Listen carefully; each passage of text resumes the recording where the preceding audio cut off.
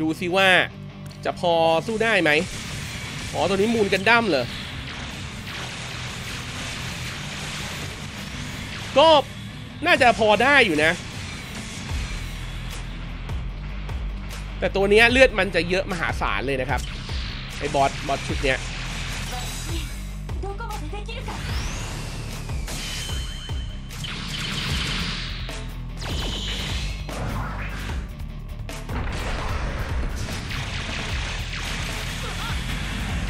ยิงรถสามหมื่นหกแล้วก็ฮิวตัวเอง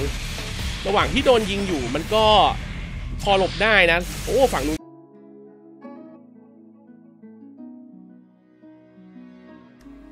สวัสดีครับ ยินดีต้อนรับเข้าสู่ Channel e x i l a Gamer TV นะครับ เราอยู่กันกับเกมมือถือโมบิลสูตรกันดั้ม UC Engage นะครับ แต่ว่าคราวนี้เราไม่ได้อยู่ในเซิร์ฟ Global นะ เราเข้ามาที่เซิร์ฟ JP นะครับ เพื่อจะพาทุกคนมาดูข้อมูลMobile Suit ที่กำลังจะเข้าในอนาคตเร็วๆนี้นะครับ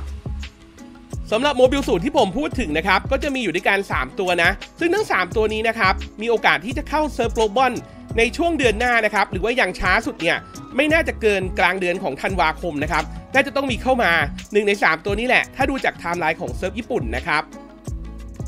อะก็ 3 ตัวที่มีโอกาสจะเข้ามานะครับตัวแรกนะก็คือ Nightingale นะครับตัวที่ 2 คือ Nu Gundam นะครับต่อไปก็คือ Sazabi นะครับ Nightingale สีเขียว Nu Gundam สีแดง Sazabi สีน้ำเงินนะครับอะก็เดี๋ยวเราจะค่อยๆทำคลิปไปทีละตัวละกันนะ เดี๋ยวคลิปนี้จะพูดถึงตัว Nu Gundam ก่อนนะครับ แต่เดี๋ยวขอเกริ่นเรื่อง Nightingale นิดหนึ่งคือจริงๆแล้ว Nightingale นะครับ มันควรจะมาในตู้ patch แรกนะครับ ตอนเซิร์ฟเปิดเลย แต่ว่าเขาสลับเอา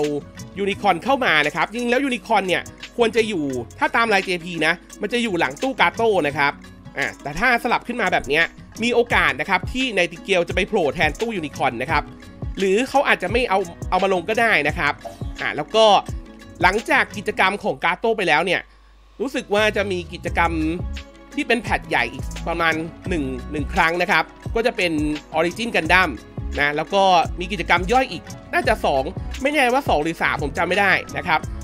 ถัดไปก็จะเป็นกิจกรรมล่าบอสนะครับ ในกิจกรรมนั้นนะ มันจะมีตัวบอสให้ล่านะครับ ในกิจกรรมเนี่ย แล้วก็ถ้าเกิดเราใช้ Nu Gundam นะ มันก็จะได้โบนัสพิเศษ คล้ายๆ กับเราใช้ตัว Gato กับ Rick Dom นะครับในการลง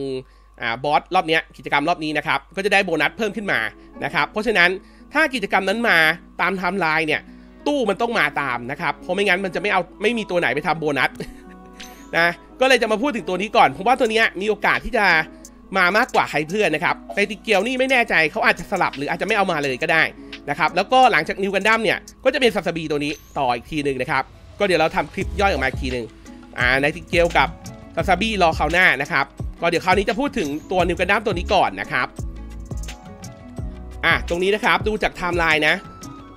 ปัจจุบันของเราเนี่ยเซิร์ฟ Global มาเป็นกิจกรรมอีเวนต์ Solomon นะครับอะแล้วก็ถ้าหลังจากอีเวนต์ Solomon แล้วเนี่ย มันก็จะมีกิจกรรม Origin เข้ามานะครับ ซึ่งตรงเนี้ยก่อนอหลังจากที่ Origin มาเนี่ย ก็จะเป็นตัว Nu Gundam เข้ามานะครับ แต่จะก่อนอีเวนต์ตัวนี้นะ0079มอนิต้านิวอะไรเนี่ยนะครับรายละเอียดมันจะมีอยู่นะครับเนี่ยก็คือ Solomon ปุ๊บ แล้วจริงๆต้องเป็น NTD Unicorn นะ ตรงนี้อาจจะเป็น ไอ้นี่ก็ได้นะ อาจจะเป็นอ่า Nightingale ก็ได้นะครับ หรือถ้าไม่มีเนี่ย มันก็จะข้ามมาที่นี่เลย นะครับ ตู้ไอตัว Origin นะครับ เป็น Char แดงกับ Zaku แดงนะครับอ่าเราก็เล่นกิจกรรมนี้ พอกิจกรรมนี้จบก็จะเป็น Nu Gundam นะครับ แล้วก็ของรางวัลของ Nu Gundam เนี่ย ในการลงด่านก็จะเป็นตัวละคร Quess Paraya นะครับสำหรับ Nu Gundam ตัวนี้นะครับ ก็จะเป็นสายสีแดงนะครับ เป็น type แดง เป็นตัวอเนกประสงค์นะครับ ยืนแถวกลางนั่นเองนะ คือตัวนี้สามารถยิงได้ต่อเนื่องนะครับ แล้วก็เวลาอันติเนี่ย มันจะสามารถฮิลได้ด้วยนะครับ ก็คือเป็นตัวที่ช่วยฮิลนะครับฮิลแบบฮิลหมู่ด้วยนะ ได้ดีในช่วงต้นๆนะครับ ก็เพราะว่าช่วงต้นเนี่ยมันไม่มีตัวฮิลไม่มีตัวที่แบบจะแทงดีๆเลย ตัวนี้ก็เลยดูมีประโยชน์ดูว่าเก่งนะ แต่ถ้าถามผมจริงๆเนี่ยอืมผมอาจจะไม่สุ่มนะ ถ้าตู้เนี้ยก็ต้องรอดูอีกทีหนึ่งนะครับ ว่าจะสู้ไอตัวบอสกิจกรรมไหวไหมโดยที่ไม่มีตัวนี้ ถ้าไม่ไหวก็อาจจะต้องเติมเติมมาเอามาสักนิดหนึ่งนะแต่คงไม่ได้กดไปถึงหลาย ๆ ขีดหรอกนะครับ อะตัวนี้ก็จะมีอาวุธเป็นปืนซะส่วนใหญ่นะครับ เป็น beam rifle นะอาวุธแรกนะครับ อาวุธที่ 2 เป็น beam saber แล้วก็อาวุธที่ 3 เนี่ยเป็น fin funnel นะครับ ก็ถือว่าทำ damage ได้พอใช้ได้ในระดับหนึ่งเลยแหละนะครับ แล้วก็คือโดยส่วนตัวแล้วมันก็เก่งในระดับที่เก่งกว่าตอนพวกตัวต้นๆมานั่นแหละ แต่ว่าถ้าเกิดพวกตัวต้นๆอัพขีดมาเต็มเนี่ย อันนี้ก็อาจจะไม่แน่แล้วนะครับเออแต่ว่าถ้าตัวเนี้ยจะอัพขีดคือเราต้องสุ่มกาชาเพิ่มนะครับ เราถึงจะได้ตัวมันมา อะก็สำหรับ skill อัลติคร่าวๆนะครับ ก็จะทำ damage 655%อันนี้ skill level ผม level 4 นะ เพราะว่าผมอัพขีดไปแค่ 4 นะครับ ตัวนี้ custom อยู่ที่ custom 10 นะเลเวล 110 นะครับ ตัวนี้พอเลเวล 4 เนี่ย heal ได้ 20%ทั้งตี้นะครับ ก็ถ้าเลเวล 5 ผมไม่แน่ใจจะ20 เท่าไหร่นะ 25%จะถึงหรือเปล่า ต้องดูอีกทีหนึ่งหรือว่า 23 ผมก็ไม่รู้นะอะแล้วก็อาวุธนะครับ เออ skill ก่อนละกัน skill จะช่วยเพิ่ม beam damage นะครับ 30 วินะอ่าเพิ่ม 24%นะครับ แล้วก็ skill ที่ 2 เป็นปล่อย fin funnel นะครับ ก็จะทำ beam damage เพิ่มขึ้นนะ แล้วก็ตัวอัลติ skill จะทำให้ beam damage แรงขึ้นนะครับ อันนี้ก็จะเป็นคร่าวๆละกันนะสำหรับ pilot ที่มันจะเข้ามาพร้อม Nu Gundam นะครับ ก็จะเป็น a r m o r o l e รหัส C0014 นะครับ ก็จะเป็นตัวสีแดงที่ใช้กับตัว Nu Gundam ตัวนี้แหละนะครับผม คะแนนเฉลี่ยก็อยู่ที่ 7.5 ใน อ่าเจ tier ของ JP เหมือนกันนะครับ ซึ่ง Amuro คนนี้จริงๆแล้วมันก็ไปขับหุ่นแดงได้หลายอันแหละ เนื่องจากความสามารถในการตีเอ่อการยิงของมันค่อนข้างดีนะครับ จะมี skill อยู่ 2 skill นะก็คือ เมื่อขับสีแดงนะครับ อัลติ พออัลติไปแล้วเนี่ยอาจจะเพิ่มการยิงนะครับ shooting sense นะ แล้วก็อีกอันหนึ่งก็คือขับ Gundam type แล้วก็โหตัวสอนเล็กก็ประมาณหนึ่งแหละนะ ก็หลักๆแล้วคือเอามาขับ Nu Gundam ตัวนี้แหละนะครับ อะทีนี้เดี๋ยวเราจะพาเจ้าตัวนี้ไปลองใช้งานให้ดูแล้วกันนะครับว่ามันจะดีหรือเปล่าก็แล้วแต่การตัดสินใจของเพื่อนๆนะ เพราะว่าแต่ละคนก็มองไม่เหมือนกันนะครับ เพราะว่าสภาพทีมมันก็จะต่างกันอะเดี๋ยวเราลองไปลงบอสให้ดูเลยแล้วกันนะครับ ก็เดี๋ยวเอามันลงไปตัวเดียวนี่แหละ มันคัดต้อมมาทั้งสิบแล้ว ถ้าสู้ไม่ได้ก็แย่แล้วอะก็ลงไปสู้กับลองสู้กับไอ้นี่ดูก่อนละกัน เป็นซาคุนะ ซาคุสีแดง เออแล้วทำไมเราไปสู้สีแดงวะ เอาใหม่เอาใหม่ ถอยก่อน เราสู้ผิดตัวสิ เราต้องไปสู้สีเขียวก่อนสินะ อะไปสู้กันด้ามธรรมดานะครับ อะลองลงเข้าไปดู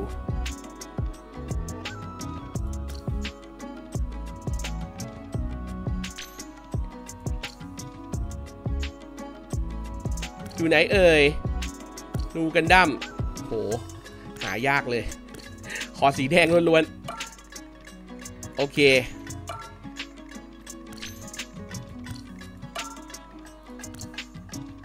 แล้วก็ไพลอตไพลอตอามูโรผมไม่มีนะ ผมก็จะเอาตัวที่มีค่ายิงสูงแทนนะครับ ค่ายิงสูงแล้วก็ขับสีแดงได้ น่าจะมีตัวนี้ แต่ก็ไม่สูงเท่าไหร่ 112 มีบัฟนิดหน่อย เอานี้ละกัน SR อะโอเค อะเดี๋ยวเอาไปลองลงดูนะ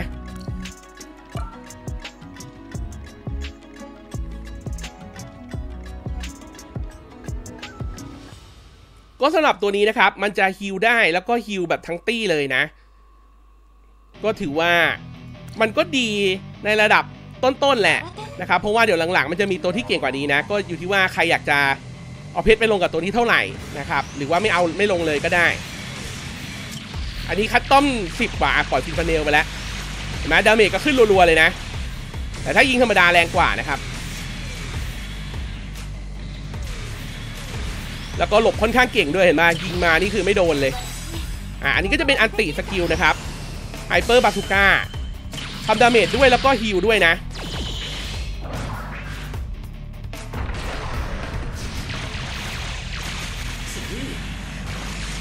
อะฮิวไปแล้วนะครับ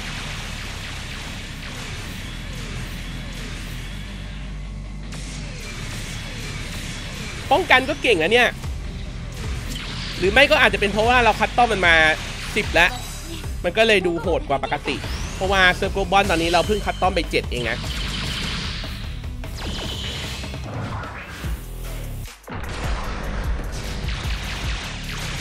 อะก็ถ้าเกิดตัวนี้มันยิง คือมันเก็บ ulti ได้เร็วจากไอตัว funnel ไง funnel มันยิงได้หลายฮิตนะครับ มันก็จะทำให้เก็บ ulti ขึ้นไวแล้วก็ heal ได้ไว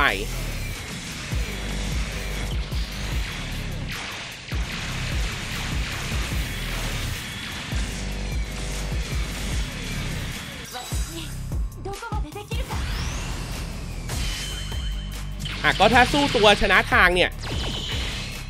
มันก็แทบจะเลือดไม่ลดเลยนะครับ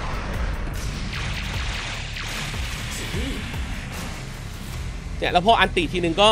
ฮิวกลับมาแถมมันหลบเก่งอยู่แล้วด้วยนะครับโอ้ฟินเนลก็ยิงดาเมจขึ้นรัวๆเลยนะเห็นปะยิ่งถ้าเกิดหาตัวที่แบบ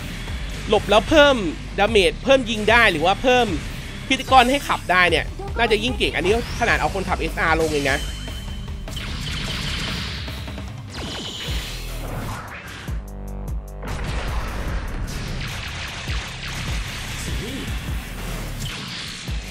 อะตรงนี้ก็น่าจะต้องสู้กันอีกนาน เดี๋ยวผมกดออกไปก่อนนะครับแล้วเดี๋ยวไปดูพาไปดูห้องอื่นดูบ้าง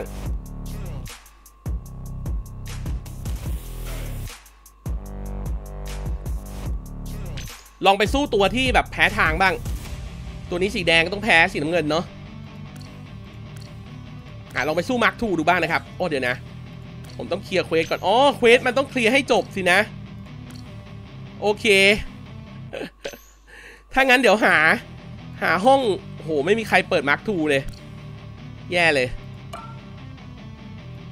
Mark II ไม่ค่อยมีใครอ้ามีนี่ไง แต่เข้าไปไม่รู้จะทันเขาหรือเปล่านะครับ เพราะว่าของญี่ปุ่นเนี่ย เขาโหดๆกันหมดแล้วเลเวลนี่แบบดูดีเห็นปะร้อยหกสิบหกห้าดาวกันแทบจะทุกตัว คือมาเล่นเซิร์ฟญี่ปุ่นเนี่ยเราได้แค่มาดูข้อมูลเนี่ยอย่าหวังไปสู้อะไรกับเขาเขามากันแบบเต็มสูบมาก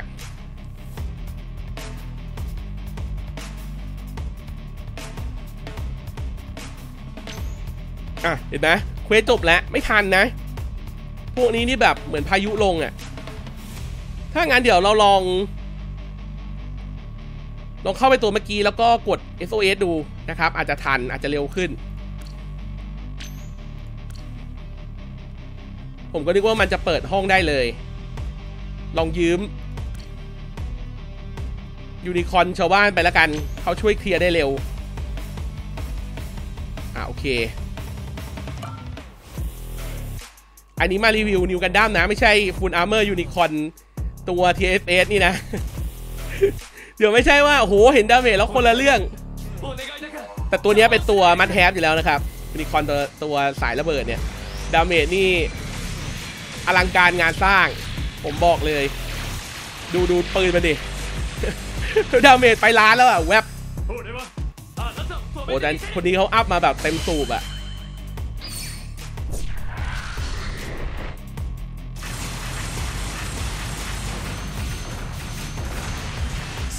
เออดีนะเขาก็ยังไม่ลบเพื่อนผมไปเนี่ย ผมไม่ค่อยได้เข้ามาเล่นแล้วอะเดี๋ยวเราขอกดให้มันจบเร็วๆนะครับ ปิด skill ก่อนก็ SOS เรียกไป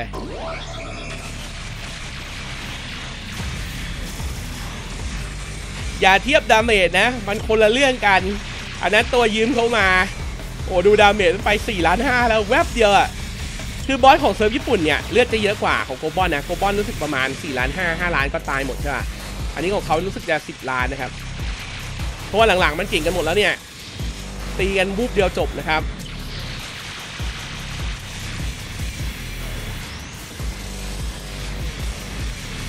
โอ้จริงไม่ต้องเรียกใครแล้วมั้ง คนเดียว 11 ล้านแล้วนั่นน่ะ เราเพิ่งยิงได้ล้านเดียวเอง ไอ้ตรงนี้ไม่ไม่ต้องไปคิดถึงนะ เพราะยังไงตัวเนี้ยต้องเก็บเพชรไว้รออยู่แล้วนะครับไอ้ตัวยูนิคอนเนี่ย แต่วันนี้เราให้ดูนิวกันดั้มนะอย่างที่บอกไป อะเดี๋ยวไปลองลง เลือดตั้ง 13 ล้านเนี่ย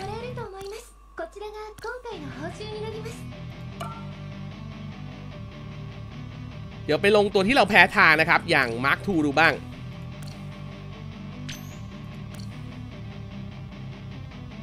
อะก็เดี๋ยวเราไปคนเดียว ดูซิว่าถ้าลงตัวแพ้ทางเงี้ย จะโดน damage แล้ว heal ทันหรือเปล่า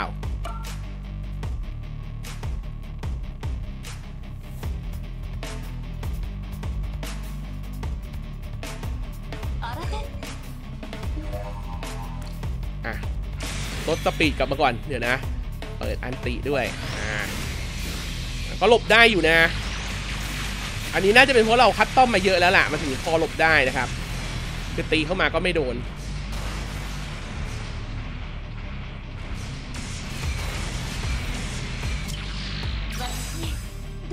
อะถ้าอย่างนี้ก็น่าจะฮิวทันนะ ดูจากการทำการโจมตีนะ เพราะว่ามันจะมีตัวฟันเนลด้วยไง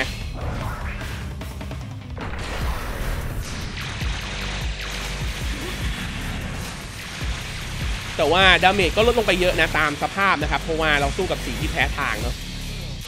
แต่เรื่องการหลบกันอะไรก็ยังได้อยู่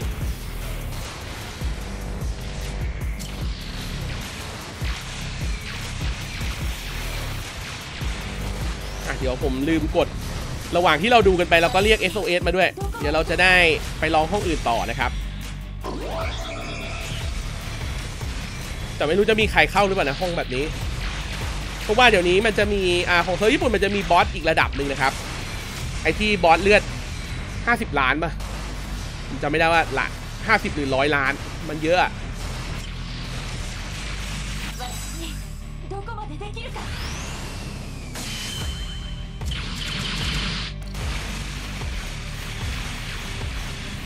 ก็ถือว่า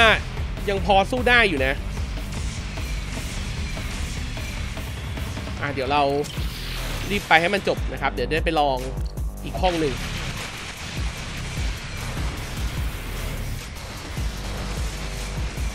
จริงๆก็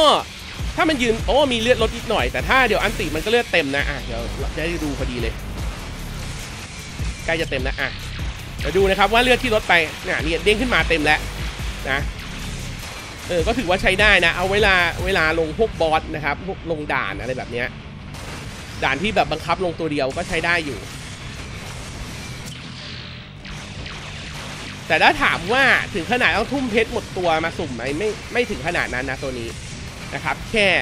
เก่งกว่าตัวปัจจุบันในโกลบอลที่มีแน่นอนแหละ แต่ว่าเดี๋ยวพอหลังจากนั้นไปอีกเดือนหนึ่งมันก็จะมีเก่งกว่าขึ้นมาอีกนะครับอ่าโอเค เดี๋ยวอันนี้เรากดออกไปก่อน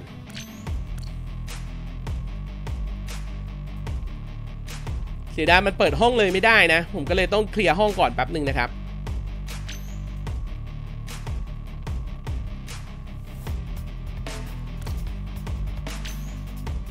เดี๋ยวเราเข้าไปใหม่คราวนี้ยืมเพื่อนก่อน ยืมเพื่อน เอ่อ ยืมตัวไหนดีปวดโหดทั้งนั้นเลยนิวกันดั้มของมูนี้นี่ของแท้นะในตัวนี้ยังโหด 5 ดาวมาเลย แสงสีจัดเต็ม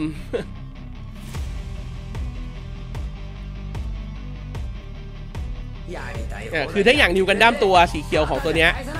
นะเอออันเนี้ยน่าทุ่มเพชรหมดตัวสุ่มนะครับ เพราะว่ามันติด gear S มันก็โหดแน่นอน ดู damage มันดิผมสิบเท่าของเราอะ แต่ว่าพลังเขาเต็มด้วยนะ ซึ่งตัวพวกนี้ต้องรออีกนานนะครับ กว่าจะมานานมากโอ้โหฟันทีแสนห้าไอ้บ้าเอ้ยแรงเกินอะซึ่งมันต้องรอนานนะ รู้สึกว่านิวตัวนี้ก็จะเป็นเป็นตัวฮิลเหมือนกันนะ คือนิวกันด้ามันจะออกออกแนวฮิลได้นะครับอะเดี๋ยวเราเร่งแล้ว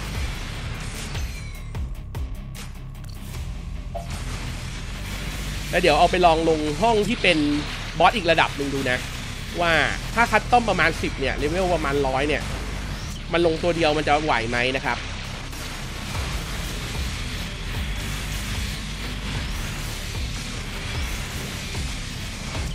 ตัวนี้ก็เลือดประมาณ 10 ล้านนะ เยอะกว่าของเจเอ้ย เยอะกว่าของโกบอนนะครับ ของโกบอนเลือดประมาณ4ล้าน5แล้วตัวนี้ แต่เดี๋ยวโกบอนก็ต้องปรับขึ้นแหละ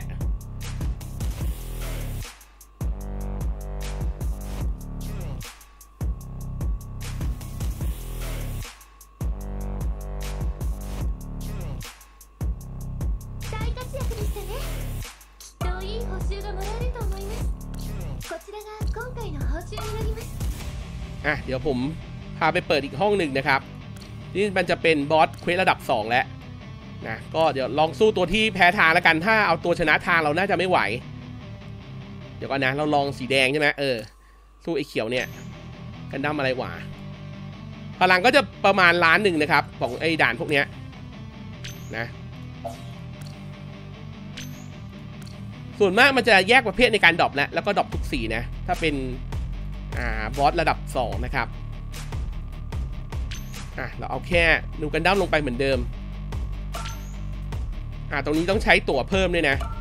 นอกจากใช้ BP ในการเปิดนะครับ แต่ตั๋วมันก็จะได้จากการเล่นอันแบบง่ายก่อนเมื่อกี้แหละนะแล้วค่อยมาใช้ตรงด่านเพจสองนี่นะครับ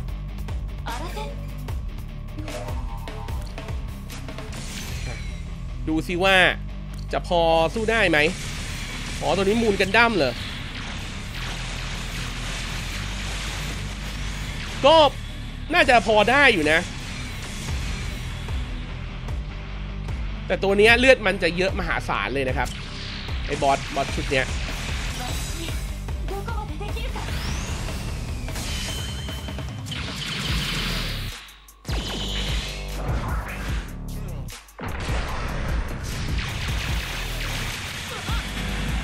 ยิงรถ36,000 แล้วก็ฮิวตัวเอง ระหว่างที่โดนยิงอยู่มันก็ พอหลบได้นะ โอ้ฝั่งนู้นก็ปล่อยอาวุธแบบยิงกระจุยกระจายมาเหมือนกันเป็นเนลสู้กันเลย ยุคหลังๆนี่เหมือนปลาอาวุธกันเลยอ๋อของมูลกันได้มันปลาเพลทมาใช่ไหมแผ่นกระเบื้อง หรือเครื่องจานไม่รู้แหละ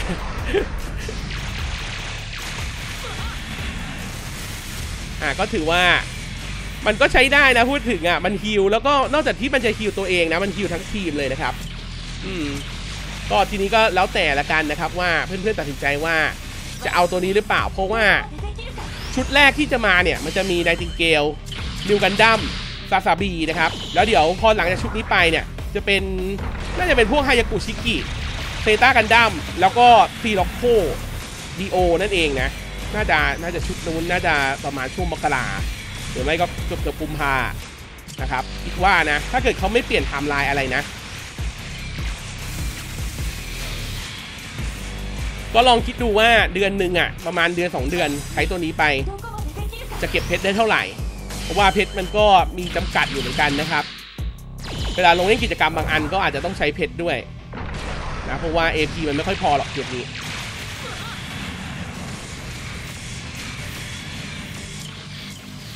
อ่ะโอเคครับ ก็เดี๋ยวสำหรับคลิปนี้เราขอจบเอาเท่านี้ละกันนะครับ หากใครที่ชอบนะ ก็อย่าลืมกดไลค์แล้วก็กด Subscribe ช่องผมไว้นะครับ แล้วเดี๋ยวเจอกันในคลิปหน้าครับผม สวัสดีครับ